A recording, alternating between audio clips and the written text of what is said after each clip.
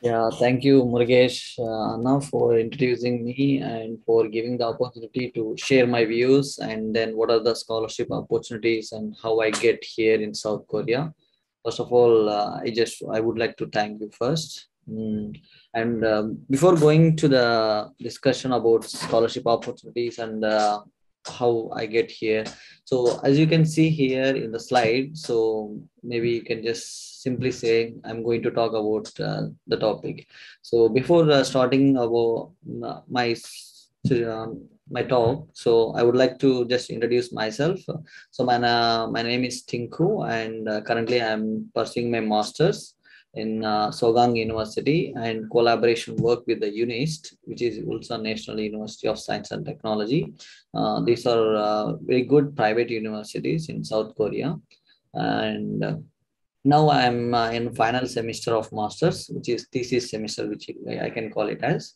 So, and previously I done my bachelor's uh, in Rajiv Gandhi University of Knowledge Technologies Triple IT RK Valley, uh, major in mechanical engineering. And after that, uh, I had done my project. I worked as a project assistant in IIT Kharagpur for one year for one year so after that uh, i just decided to pursue my higher studies uh, in my field and previously, I worked on microfluidics, a research area under uh, Suman Chakraborty, uh, Professor Suman Chakraborty in IIT Kharagpur. Um, after that, uh, so I just felt to work on uh, different research field because uh, if you get uh, work on different uh, research field so you'll get to know exposure of all the research areas. So for that, I decided to work on photonics, which can combine microfluidics and photonics, so which can be optofluidics. So that's I'm going to ma make a new research area. For that, I decided that. Huh? So before going to be this, I'm going to talk about um, the list of contents which I'm going to talk. Uh, one second, I wanted to interrupt you. Yeah, actually, uh, you seem to have uh, gone through different institutions before coming to masters. That is uh, very few people able to crack it. I mean, I mean to yeah. say like uh, uh, it's good to go multiple institutions and that too repeated institutions like IIT, IISc, and even Raman Research Institute. You had some interaction there.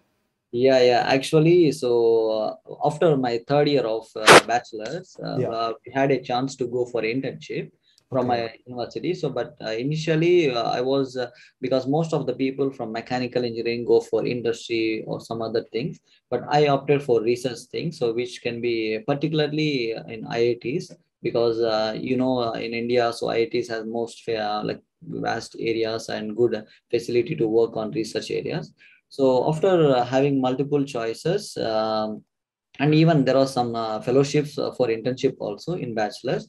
So even I applied for that one. And uh, but unfortunately, I got in IIT Madras under Professor Ashish Kumar Sen. He's the finest professor in who is working on microfluidics because uh, before going to the IIT Madras, I never uh, done uh, like I never had experience on microfluidics. I never know what is microfluidics really on the bachelor's uh, because uh, we just uh, learned about fluid mechanics and then dynamics. That's it. But when I went there, then I started to work on microfluidics because we study the fluids in the micro level macro level but in the microfluidics we can study the properties and the vast applications in micro level by creating the micro channels uh, so in the biological applications in other applications. So they uh, I, I was worked on um, because I didn't uh, I, I didn't expect that you can ask me so that's uh, that's why I didn't uh, include my research uh, profile like no no no one second actually yeah. Uh, why I want to interrupt this topic is because uh, yeah. maybe we cannot conclude all the topic at the moment but just to give an idea for the people who are watching like yeah.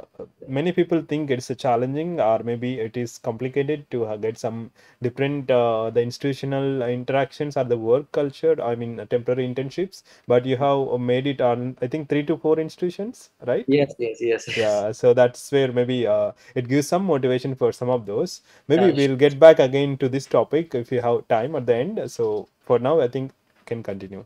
Yeah yeah short- that's, yeah, that's yeah. a- because just like uh, unless i'm speaking without Yeah. like uh, that's one but if i just shown uh, the the research area which i have done like internship Ah, true, true, true. the better i think so just like if i speak like this uh, maybe without any slides without any so Yeah, so it like but it's okay but i can just go with a brief uh, introduction of this one yeah, so late, after my in the two months i done my two months internship uh, in a, i can say in the summer i can say june to july so after there uh, i just started working on microfluidic initial the basic level i can say. Started from the uh, simulation in the COMSOL, which you can heard about mostly it is a multi-physics.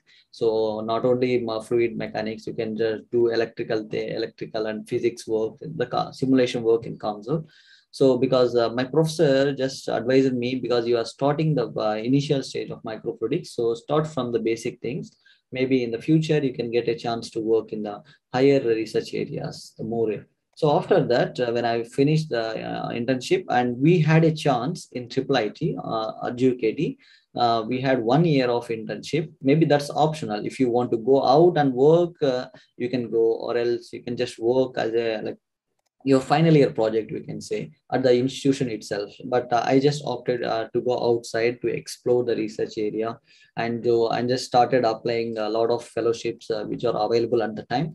And unfortunately uh, it's my i can say it's a better thing that uh, i got uh, visiting research uh, program there is a visiting research program uh, in raman, Raman research Research Institute, uh, Yeah, in yeah. Bangalore. So which for six months I can say. So it's uh, six to seven months. So and uh, I just applied there, and uh, based upon my basic level, one of my professor considered me uh, because he's also working on uh, microfluidics. Uh, his name is uh, Professor Gautam V. Soni.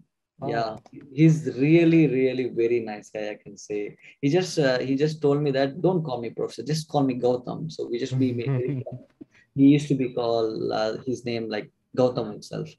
So after that, uh, I done my six to seven months of uh, my final year project, I can say, under a visiting re- uh, research program, and I learned really a lot thing because six and six to seven more uh, is more more time compared to the initial internship uh, duration. So that uh, I worked on my final year project.